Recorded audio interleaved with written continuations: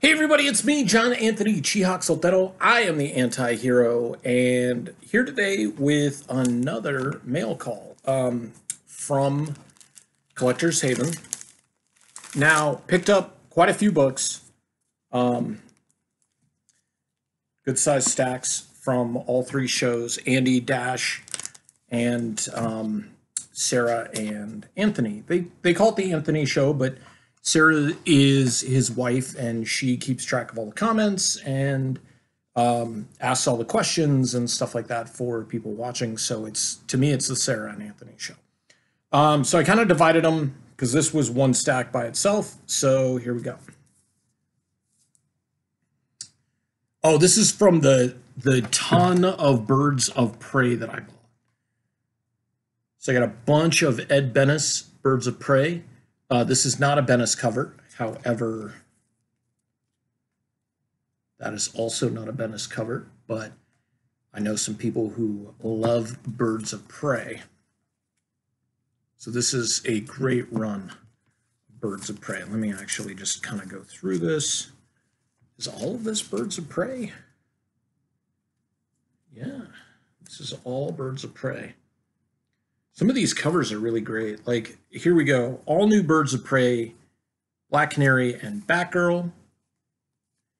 Um, then this is not a Benes cover, but this is, I guess they get a new office building. Um, Bennett. Is that Joe Bennett? It's Joe Bennett. But here we go with um, Benes. Gail Simone and Ed Benes may have had the best run on Birds of Prey. It was a lot of fun. I mean, the women were drawn exceptionally well, the characters were written exceptionally well.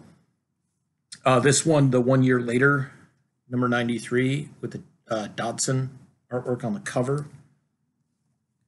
And then continuing that. They actually just uh, messaged me today because I sent um, the Collectors Haven team um, a whole bunch of stuff uh, on my pull list to complete different things, like Alpha Flight. Uh, they pulled five more issues of Nightwing, the original run, for me. So that's going to have me um, uh, with quite a few, um, uh, quite a few, um, quite a few less holes to fill. All right. Oh, cool. Married with Children number one, photo cover. It's also a newsstand too, so that's cool. Uh, Mad Magazine, this is a Reap the Millennium edition of issue number one, which is kind of cool. Errana. That's issue 11, issue 5.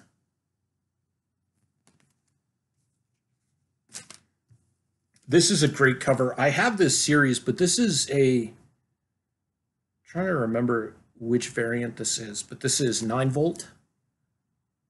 This is kind of like um, Ex Machina uh, before Ex Machina, um, the, the movie with the AI. This is a great Scott Kolins Mightiest Avengers or Earth's Mightiest Heroes. Um, great She Hulk cover course, She Hulk is super, super hot right now, except uh, something that was kind of a term coined by um, uh, people who watched um, Jim Balent, uh, Balent's artwork, boob socks. Like, sorry, fellas, boob, boobs don't fit into clothing like that.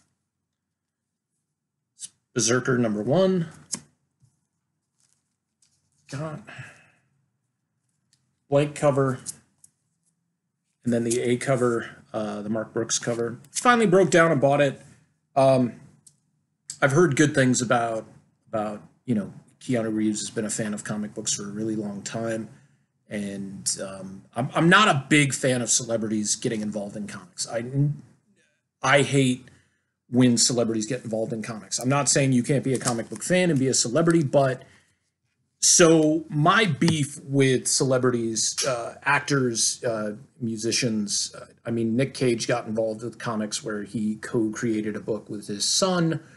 Um, Tyrese was the creator of a comic book. I don't even remember what the name of it was, but I flipped through it and it was just god awful. It was like this was done in the mid aughts, like the mid to late aughts. So like 07, 08, 09 and this book looked look, looked like it was drawn in 92 like it looked like it was an image book. There were no backgrounds.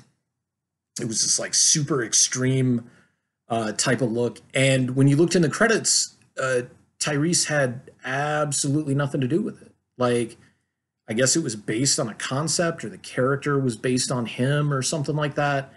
And i'm like maybe he's a comic book fan but like why is why is he involved um, Alyssa Milano did one that was like Hacktivity or the Hacktivist or something, some other weird thing. Um, I think she was like a writer on it. And I mean, to be fair, at least Alyssa Milano's kind of been really under the radar. Um, J.J. Abrams getting in and, and writing, you know, Spider Man. Um, you know, same thing with Joss Whedon. You know, I'm just not a fan of that. I don't think you know he's a good storyteller to begin with. Um, and then Keanu Reeves, and I'm just like, you know, here we go. Um, you know, it's just another celebrity. And and here's the thing: you don't cash in on comics. Like, I I don't get why somebody who's making you know movies and you know getting million dollar paychecks or what have you would want to lower themselves to you know write or draw a comic book. none of them draw it, that's for sure. Um, you know, the time it takes to draw a comic book, at least for me, because I have a full time job, and for the most part, I do I, I do it 100% myself. Creating a comic book could take me the same amount of time that it takes somebody to shoot a movie. Um, and and that's not feasible for a lot of people. But if you really cut it down into the actual hours that I spend doing it, you know, it, it maybe takes the same time or less or, you know, what have you. Um, so that's kind of one of those things that it just bothers me. It feels like a quick cash in and it feels dishonest and it feels like somebody trying to take glory away from somebody else. Um, you know, it's kind of like when big name actors start voice acting. It's the same issue I have. Like there are people who have been doing voice acting their entire careers or become known for voice acting more so than their their actual acting roles. And to have people come in who are known actors and actresses and just start voicing these characters it's to me it's insulting as somebody who you know did the deed and went through animation and, and got a um, you know got a degree and and is creating comic books that will hopefully one of these days somebody will take an interest into. Um, you know, if I market it right, turn it into an animated series or an action figure line or a plushie line. Um, but until that time, I'm good doing it this way because I have 100% creative control. I'm not harshing in on anybody else's territory by doing this because I'm actually putting in the work. Um, the only thing I really, really would like to do, and it wouldn't even necessarily be an acting role, although, you know, it would be cool. Uh, once they do decide to do that Nightwing movie, I want to be a part of it. I don't care if I'm a grip, I'm holding the boom mic. I don't care if I'm, you know, just watching the catering table. I just want to be a part of it because Nightwing is my favorite character. And if, um, because I got the tattoo on my leg, I mean, I could be a corpse that you know he sees early on and he sees the tattoo and he's just like that's a good design. I'll use that. I mean i'd be good with that. I'd be good with just being like you know it just being my knee to my foot like just on camera and he sees it and that's it. Um, but uh, yeah no it it does bother me when when people come in from you know other other areas and it's it's not really their gig. And i feel like it's an invasion on on something that's very personal to me and I, you know something I've been working on for 15 years now. My first book came out in June of 2006. Uh, and so we're coming up on 15 years of me creating comic books. And even before that was me, you know, writing scripts and laying stuff out all the way back into the late 90s. So it's not like it came easy. It's not like it just happened. And believe me, those first 10 years of doing comics were were bad. I mean, like I look back at that artwork and I have stacks of books that I I almost don't want to sell to people because they're not good. but you know, when you're only putting out one or two books a year, it it takes you time to get your rhythm and your balance and your storytelling and that's why doing something on a monthly basis or putting out like a big size graphic novel every year is really really important for the creative process of making comics because you learn as you go. There there's no substitute to learning as you go. It's kind of like being a professional wrestler. Like you can be in great cardio shape you can know how to take bumps and do high spots and throw a great suplex but you're never gonna be a, phenomenal wrestler or even a good, solid, sturdy wrestler without performing in the ring, hitting the ropes every night, and performing in front of a crowd or in front of a handful of people as you build yourself up. Same thing being a, a music performer. You need to perform live in front of people in order to get that. It's a little different with comic books. So uh, with comic books, it's it's fighting under deadline it's you know not having an ego about having to change something because you have editors or because the, the publisher wants you to do it a certain way. Um, or you know it's not your ip you don't get to control the direction of it. That's why i do it my way. Like i used to want to work for marvel. I used to want my characters to be part of the x-men.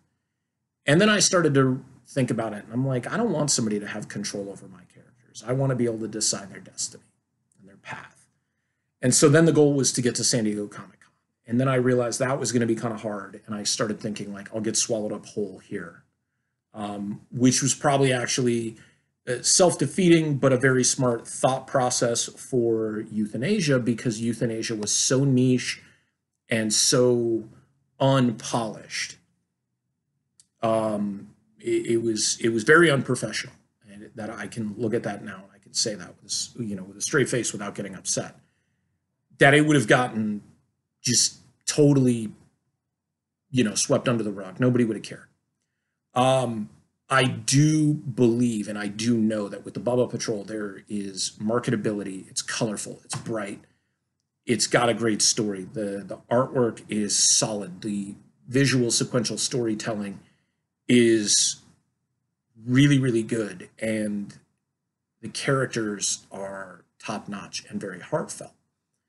And I'm getting that feedback from my editor. I'm getting that feedback from my colorist. He's looking at the pages as he's coloring them, and he's just like, Your storytelling is getting better from issue to issue. Um, you can really tell, like, without the words, because he has the script, so he kind of knows how to like light things and and give a little bit more uh, gravitas to the characters and and how their shading is done and stuff like that. And he's uh, churning out some phenomenal pages, like these the colored pages coming back.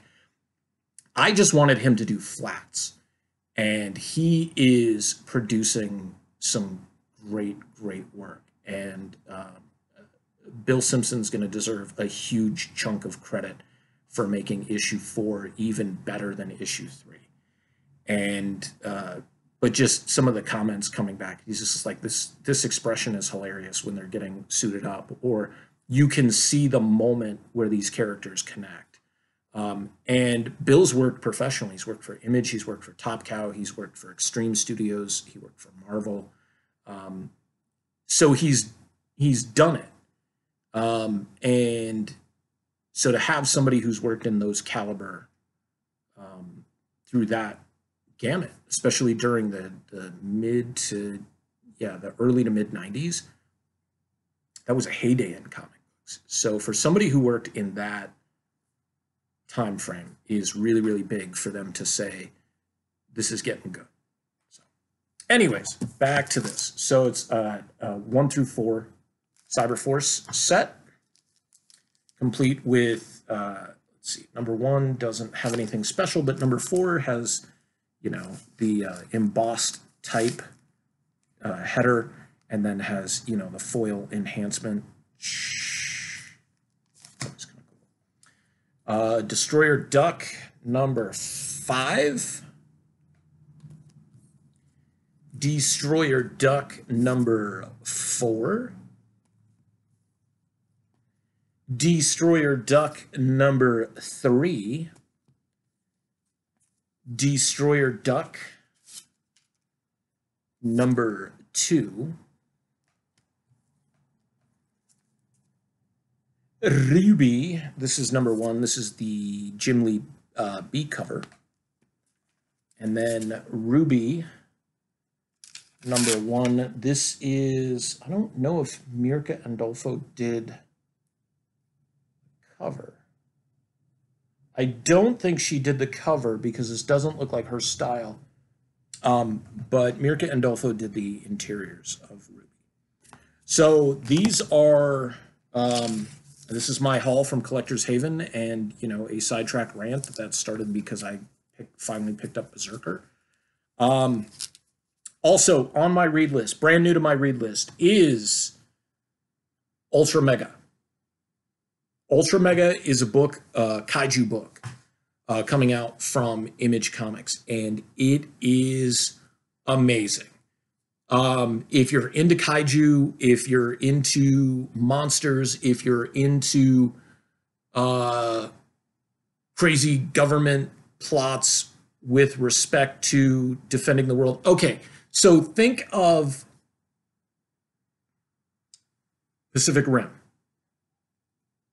instead of giant robots piloted by humans, those giants that fight the kaiju that show up are genetically modified humans who can grow to substantial size, you know, bigger than skyscrapers, and they're going toe to toe. Um, issue number one, these are like larger quasi prestige format books. They're square bound. Uh, they're about, uh, I believe, issue one was $8 worth every penny. Colors are great. The artwork is quirky, but it fits. It shouldn't be really clean line superheroes. It's a little jagged, it's a little off kilter, but it's kind of a dark subject matter. But at the same time, there's a lot of fun with it. But believe me, this is a very, very dark book. The concept is fun. The uh, the outcome is very, very dark. Um, so definitely check that out. I'm going to be doing a, a review of Bitter Root. Um, and I will also do a review of the first issue of Home from Image Comics. So getting some of my indie goodness on and hope you are as well because I'm indie, so I got to support indie. I got to stop plugging money into DC and Marvel. Marvel's kind of on the way out for me anyways. Think Miles is the last book that I have, and I'm going to be canceling with number 25. Not because it's a bad book, but I have honestly not read a, an issue of Miles Morales Spider Man since issue 12 or 13. And so I'm a year behind on that. Like, why why am I going to plunk four dollars a month into a book that I'm not reading? It's just not smart. Um, and somebody might say, well, it's only four bucks. Well, that four bucks could go to an indie book that I will read. Uh, same thing with Immortal Hulk. I went two years not reading that book, so there was you know two two years times four dollars is is uh, so that's uh, twenty four books. It's ninety six dollars. You know, that's almost a hundred bucks. That's a key book that uh, that I could have picked up, or several small keys, or minor keys, or modern keys, and you know, it's just it's time to reconcile and deal with like what it is about this hobby that I really, really enjoy. And uh, there's part of that obsessive compulsive nature that compels me to purchase stuff that I'm not reading, to, to spend money that I don't need to spend on things. And so that becomes the dynamic and the problem and the, and, uh, but it, it, it's the self sustaining economy in and of itself because people are going to buy it. So I'm working on trying to lessen that impact for myself and uh, support more indie books like The Goon, um, uh, Ultra Mega, Um, I'm going to be picking up Home. Um, there's some other books uh, like Scout puts out some pretty decent books. They're hit or miss at times, but uh, I'm I'm going to be picking up the second trade paperback of both Coyotes and Bitter Root, and then picking up the the singles, and then trying to go back and and collecting the, the issues that I'm missing. I think Bitter Root is at issue 12 right now, so it's not that far behind. And I think Coyotes is kind of the same thing. Um, and I have the the big number, you know, the big bigger dollar uh, versions of the books. Number one. Uh, but if anybody out there has a copy of Bitter Root number one, the Akira homage cover, and they are willing to let it go for non eBay prices, I mean, a fair price, but non eBay prices, please let me know. I do have some keys. I'd be willing to trade, uh, be willing to, um, you know, give you a fair price for it. But some of these prices for for these books are just outrageous. Um, and I think, you know, some collectors might agree, other collectors might be like, well, it's fair, you know, pay for it. And that's the case. And if and if I can't get it for a fair price, then that's one of those things that you just let go. I'm never going to own a 181. Um, don't really want one either, you know. So it's kind of one of those questions where, like, oh, you know, you save up and you can, you can get a 181, or you can get like, you know, five or ten other keys that are just, you know, going to do well. As well. Um, so those are just things to keep in mind. Um, I would say shop within your limits, uh, but have a mindset of of what you're willing to do. Last weekend, I had the opportunity to pick up a book that I've wanted since I sold it, um, and the the book is going up in value. I don't really know why.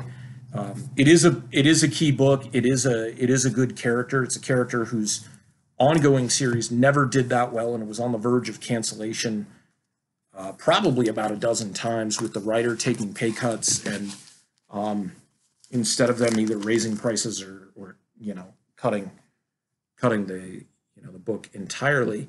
Um, but fan support saved it numerous times. And it's one of those things where you kind of wonder like how is this book this expensive? And it uh, an individual had it at this toy show that I went to, and I had just hit my 12 year um, or not 12 year, my five year sobriety mark, and I was I was looking at it and looking at it, and I asked I was like, "What's your bare bones price for taking that home right now?" And he had it marked at 180, and he said, "I'll let it go for 150." And so I looked at it, I scrutinized it. It was not in good enough condition for me to to pay 150 for it, even though I wanted the book. So I let it go. Um, and that's just one of those things that you have to you have to do from time to time. You have to be able to walk away. And it wasn't a tactic to get him to say, okay, you know, 125 or 100 or whatever. It it was honestly like I'm not going to shell out that much money for a book that's in my mind not worth it. Um, it's kind of like people selling uh, books that are incomplete. Uh, you know, like the 180, the 181, um, the 182 with the Marvel value stamps cut out. Those are those books are not complete, and they drop way down. They would get a green label uh, if you tried to match it and put another you know stamp in place and get it modified. It'd get a purple label.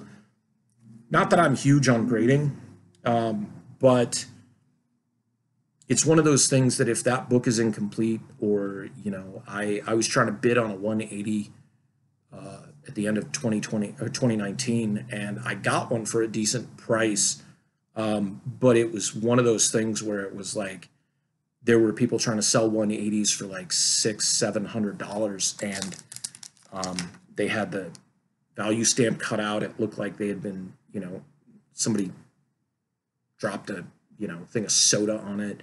They were stained, they were water damaged, they were rippled.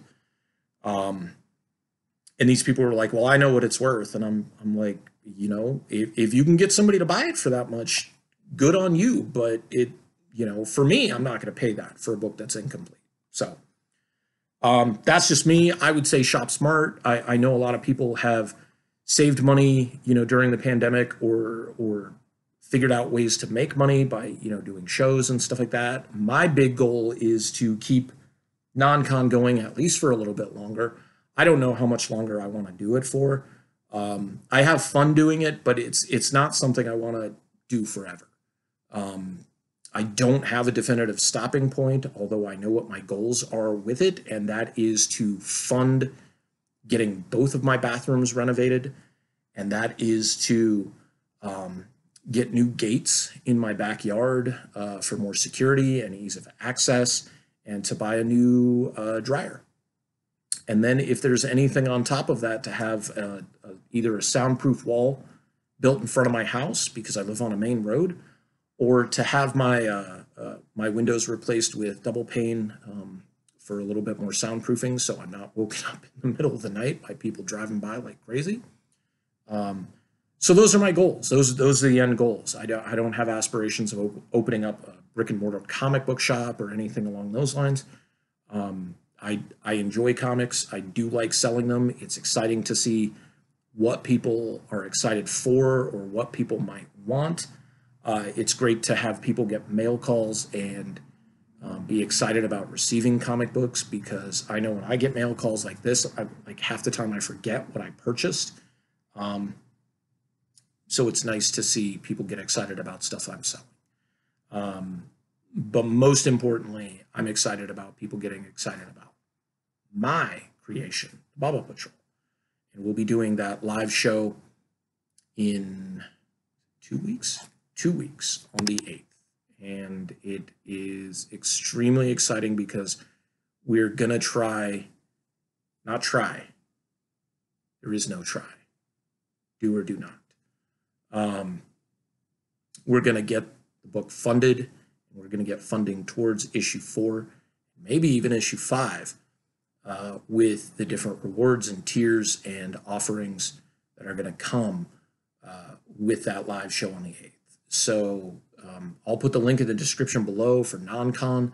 Uh, definitely tune in. I'm usually doing shows on Saturdays uh, at um, at 7 p.m. Right now that's Pacific, and selling single issues. I've got runs. Um, I'm trying to unload runs and uh, original sketch covers, taking commissions, things like that, so that we can fund this crazy dream of producing the Bubba Patrol and you know getting this is this is the Bubba Cave, the house that Bubba built, uh, and getting it in order and having it ready to go. All right, you guys take care of yourselves.